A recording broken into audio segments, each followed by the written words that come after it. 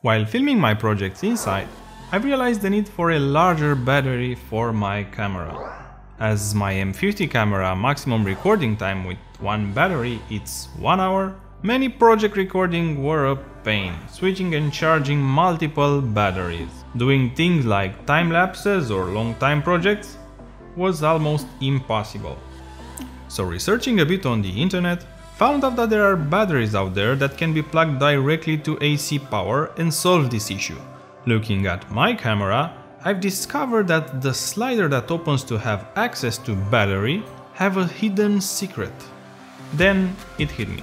I wanted myself to do a dummy battery for my camera that can be plugged into multiple sources, so I can basically have unlimited power. Let me show you how I did it.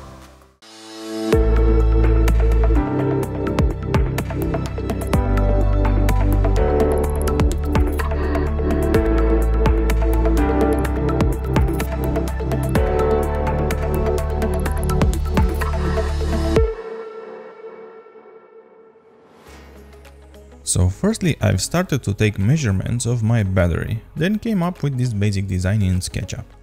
It actually was my first ever project on a 3D printer, so I didn't give too much importance to many details. Quickly transfer it on SD card and let the printer do his job.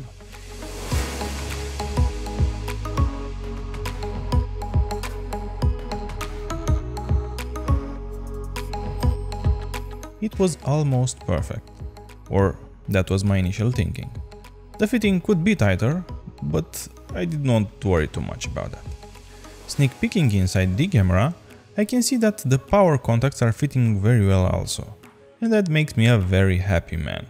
Now my idea is to use this cheap DC-DC step-down module, which can be found anywhere, and place it inside the battery.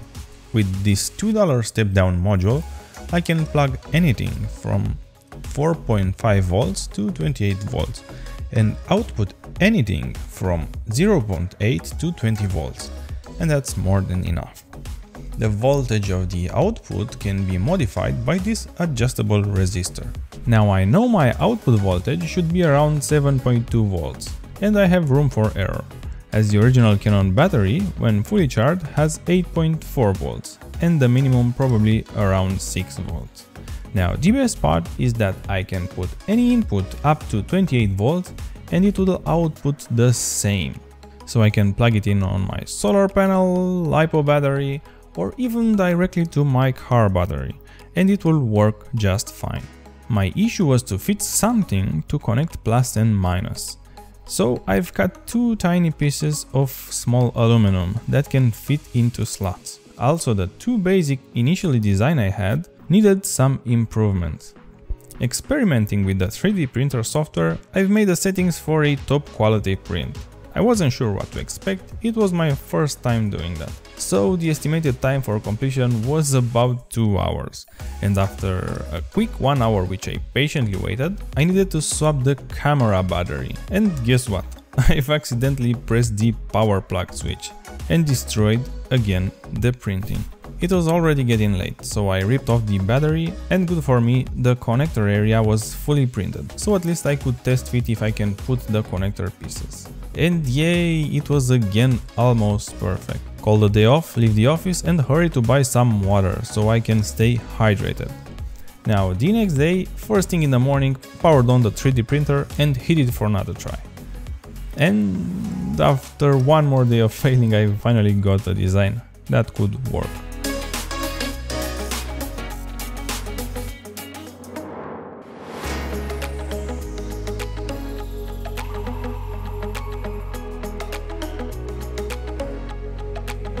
Okay, fit testing everything, my DC connector is a bit larger, so using this sophisticated tool, I will adapt it accordingly. Soldering up everything.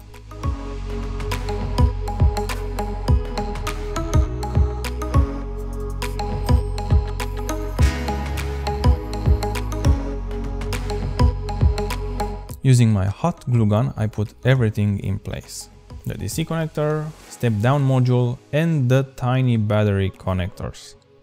I measure one more time the output voltage to be sure I haven't moved the potentiometer and for safety you can put a drop of hot glue so you know it stays unmoved.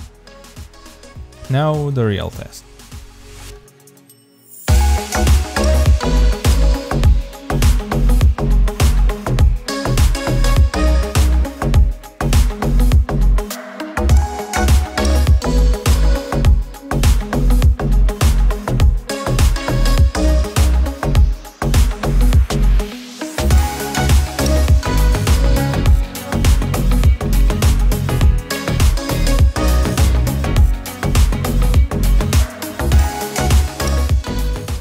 And it's working.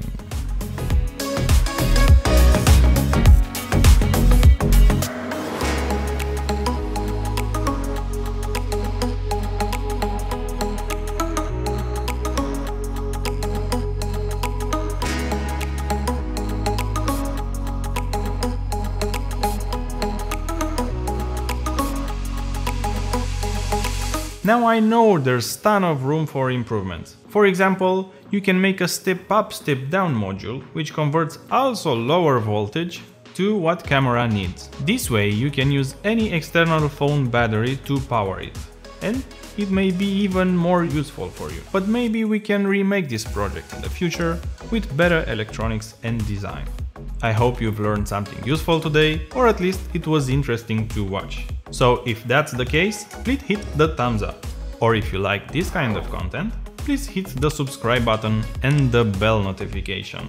It will give me positive feedback so I know I need to post more content. See you soon!